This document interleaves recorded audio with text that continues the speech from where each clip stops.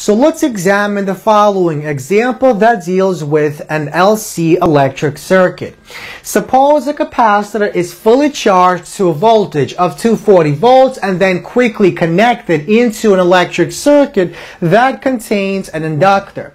Now if the capacitance of our capacitor is 2000 picofarads, if there is no resistance inside our LC circuit and if the frequency is given to be 9000 hertz, in part A, find the inductance L. In part B, find the maximum electric current in the inductor. And in part C, find the maximum energy stored inside our inductor. So let's begin with part A.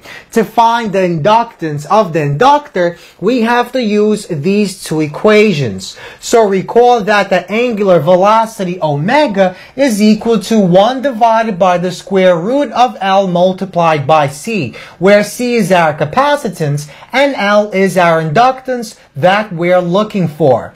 Now we also know that by definition of angular frequency, angular frequency, also known as angular velocity, is equal to 2 pi multiplied by the frequency. So we can equate this equation to this equation and we get the following result. So 2 pi multiplied by the frequency is equal to 1 divided by the square root of L multiplied by C. Now, if we take the square of both sides and then we solve for our L, we see that our inductance L is equal to 1 divided by the square of 2 pi times the frequency multiplied by our capacitance. Now, we know the capacitance is 2000 picofarads, and we know that our frequency is 9000 hertz. So we can plug these values into this equation. Now we have to convert our picofarads into farads. So our capacitance is 2000 times 10 to negative 12 farads. We multiply that by the square of the product of 2 pi and 9000 and we get about 0.16 is our inductance of our inductor. So 0.16 henries. Now let's move on to part B. Now we want to calculate the maximum current in our inductor. So we have to use the following equation. So this equation gives us the quantity of electric current inside our inductor with respect to time. So I is equal to omega multiplied by Q naught multiplied by sine of omega times t plus our phase angle phi. Now our electric current is at a maximum when the sine of this quantity is equal to 1. So I maximum is equal to omega multiplied by Q naught.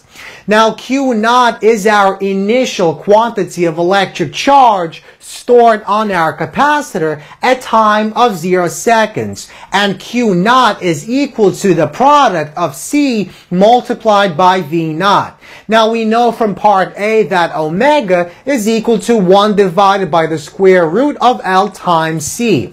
So, we replace omega with this ratio and we replace Q naught with C multiplied by V naught where C is the capacitance and V naught is our initial voltage of 240.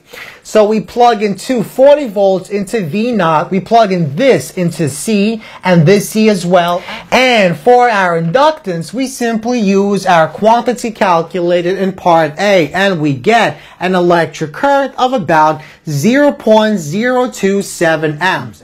And finally, let's move on to part C. Find the maximum energy stored in our inductor.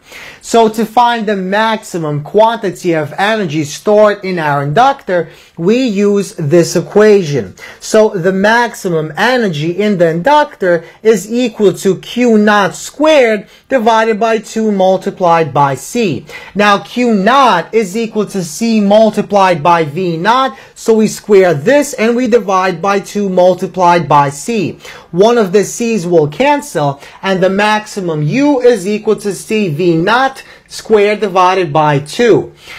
So we take our voltage of 240 volts, we square that, we multiply that by our capacitance, and we divide by 2, and we get about 5.8 times 10 to negative 5 joules of energy is the maximum quantity of energy stored inside the magnetic field of our inductor.